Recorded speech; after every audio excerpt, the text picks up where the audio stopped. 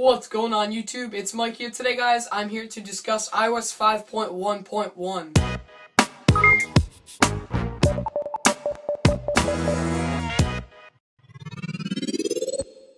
So as of yesterday or two days ago, uh, Apple announced iOS 5.1.1. Now this wasn't obviously a huge major announcement or update from Apple. Basically, if you have an iPod Touch, an iPhone, or an iPad, you would be getting this software update. Now, obviously, the version before 5.1.1 was 5.1. Most of you uh, probably already have that version, but if you haven't updated to uh, 5.1.1 yet, it is now out, and uh, the easiest way to actually download iOS 5.1.1 is by going to Settings, general software update, and there you'll be able to see uh, if you have a software update available or not. Obviously, it'll be it'll say iOS 5.1.1, but today I want to discuss the changes in iOS 5.1.1 and uh, a little tip for you jailbreakers at the end. So stay tuned uh, till the end of that if you are a jailbreaker because I want you guys to listen up well. So there aren't really any major updates in iOS 5.1.1. If you're looking for some changes with the home screen or icon updates or new wallpapers or something, I don't even know.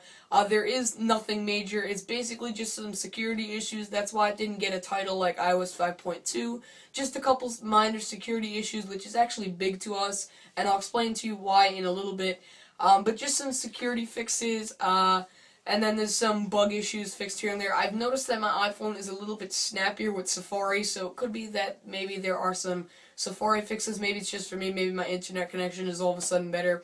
And of course, Apple, as always, is trying to fix the battery uh, issues as well. Um, and I recommend uh, for you battery users out there with your iPhone 4S, definitely keep Wi-Fi off. I've been doing that for quite some time now with 5.1 and 5.1.1, and I've noticed a huge battery difference. Instead of like coming out of school with like 60% because I connect to the school's Wi-Fi. It's like I shut off the Wi-Fi and it like I save so much more battery. So if you're on 5.1 or 5.1.1, definitely don't connect to Wi-Fi for a long period of time. I mean, I'm in school for 8 hours, so it's going to be long. As always with my new iOS update videos, there will be a download link in the description that you can actually click to get the new version of iOS 5.1.1. You can just go and click it. Uh, there you'll be brought up a list of all the versions available for the iPhones, the iPod Touches, and the iPads, and you'll be able to see uh, all the versions right there. So definitely be sure to check out that list. Again, the link is below in the description. Now let's talk about the jailbreaking part of this. If you are a jailbreaker and you don't have any reason to update to 5.1.1 unless your device is really screwed up, um, then do not update to iOS 5.1.1.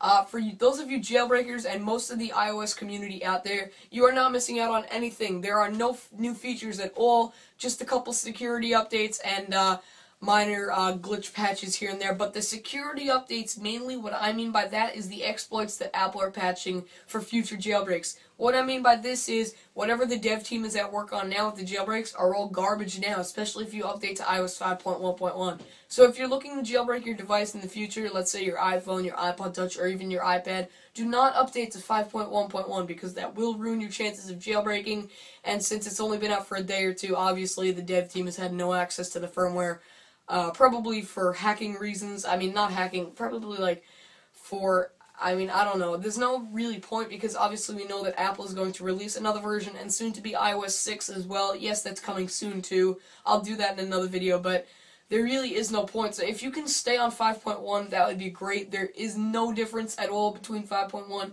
and 5.1.1. Again, just some glitches. If you're having serious glitches with your iOS device, then maybe the update is right for you, but there aren't many updates at all except for these security, really jailbreak fixes, patches, and uh, some glitch fixes here and there. So if you're a jailbreaker and wanting a jailbreak, do not update. But otherwise, from that, guys, just click the link in the description if you do want to get 5.1.1 and stay up to date. Of course, you know, if you do have glitches again with your device, you can fix them by clicking the link in the description below because I've noticed a lot of people saying that iOS 5.1.1 actually does fix some glitches and again, if you're on an iPhone 4S, I'm sure it also does tweak up the battery a bit, as Apple now does in every iOS version that try to improve the battery uh, from time to time in every new version. So thank you guys for watching this video. If you liked it, please leave some comments below on your thoughts.